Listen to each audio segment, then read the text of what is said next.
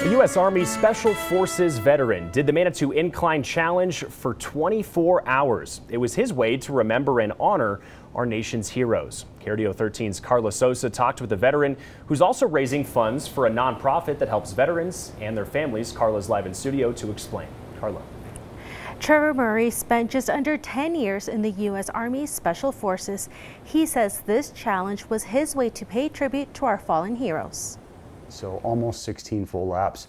It was uh, 27 and a half miles total, and then uh, 29,800 feet of vertical gain. That's how many laps Trevor Murray completed during his 24 hour run up and down the incline.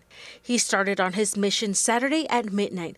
To him, this was more than a challenge. The event was dedicated to a very good friend of mine, a mentor and a hero of mine, Sergeant First Class Nicholas Guard. Uh, Nick was a uh, Force Recon Marine first, and then he made his way over to the U.S. Army. Uh, where he served with Army Special Forces in 1st Special Forces Group. He also used this opportunity to raise awareness for veterans' mental health and PTSD.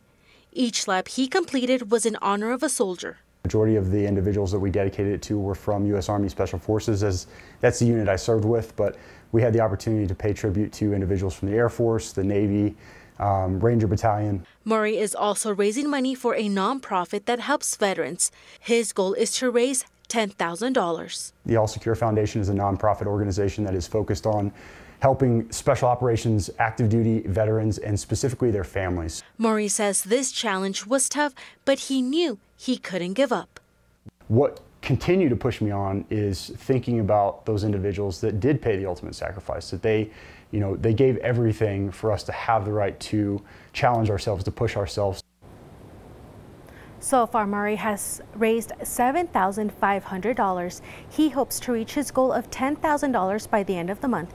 If you would like to donate to his cause, you can find the links on our website, krdo.com. In the studio, Carla Sosa, KRDO 13. Absolutely Colorado is a partnership in your community between KRDO and Gold Hill Mesa.